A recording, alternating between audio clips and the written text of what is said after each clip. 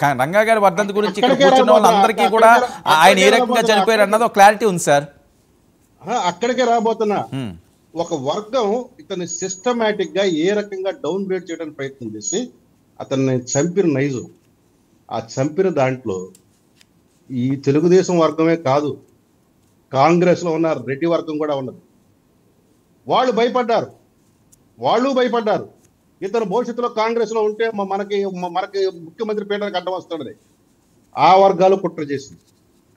దానికి ఆధారాలు ఉన్నాయి ఇప్పుడు రంగా చనిపోయిన తర్వాత ముఖ్యమంత్రి పదవి ఏ వర్గం స్వీకరించింది? తదనంతర కాలంలో కూడా ఏ వర్గం స్వీకరించింది? ఏ వర్గానికి అన్యాయం జరిగింది? అసలు రంగా కుటుంబానికి ఏమాత్రం మనం గౌరవించారా?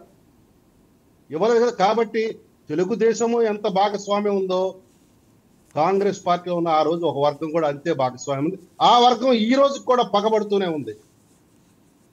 ఆ. వర్గం ఈ రోజు కూడా పగబడుతూనే ఉంది.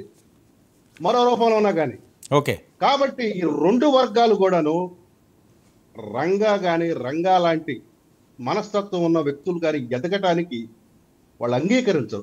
అంటే కాదు ఇప్పుడు మీరు మీరు ఓకే రంగా గారి మీద మీరు అభిమానం ఉన్నారు కాబట్టి మీరు మాట్లాడారు. ఈ రోజు జనసేన నుంచి సీనియర్ నాయకులుగా ఉండి అందులో పొత్తులో భాగంగా ఉన్న తెలుగుదేశం పార్టీ కూడా ఇందులో భాగస్వామ్యం ఉన్నదని చెప్పడంలో ఆంతర్యం? వర్మ గారు కీలకమైన మాట మాట్లాడేటప్పుడు మీరు అడ్డు వస్తున్నారు. ఉమ్, ఆ రంగా లాంటి వ్యక్తి కానీ అటువంటి మనస్తత్వం ఉన్న మరొక నాయుడు గారు ముఖ్యమంత్రి పీఠం దగ్గరికి వస్తానంటేనే కుట్రలు వస్తున్నాయి కుతంత్రాలు మొదలవుతున్నాయి కాకుండా చేయాలనే ఆలోచనలు వస్తున్నాయి. ఇది మీరు గమనించమని ప్రార్థిస్తున్నాం. ప్రజలు గమనించమని ప్రార్థిస్తున్నాం. మీకు అర్థమై ఉంటుంది ఎవరండి అలాంటి నాయకులు?